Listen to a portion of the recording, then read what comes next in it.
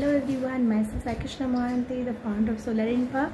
Solar Infra was incorporated in the 2016. I'm the only lady who is dealing with solar energy in the state of Odisha.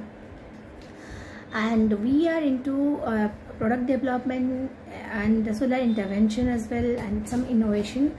And I'm happy and privileged that we are serving in the state of Odisha. More our focus area is moreover with the farmers and we are trying to develop the lifestyle of farmers and women through solar energy intervention. And i'm happy and glad that i got selected in GrandQueens club. And uh, this is a like adding a more feather to my cap. And in my previous day, uh, days i i got selected uh, in sakti awards uday goja award etc and i'm an active member of icc and ciwn as well so my passion is to do painting cooking exploring new places and reading uh, out books. Thank you